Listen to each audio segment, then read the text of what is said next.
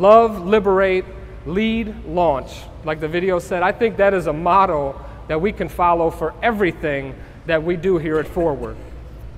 To love and serve the people of this city no matter where they might be at in life and with no agenda like a business card. Hey, and now that I cut your lawn, come to our church and we'll, no agendas whatsoever.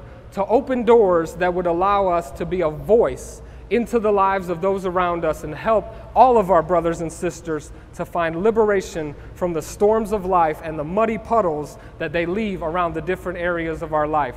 And then lead them step by step by step into this walk with Christ to the point where those puddles will dry up and we can do the same thing again and again and again as we launch them out into the world.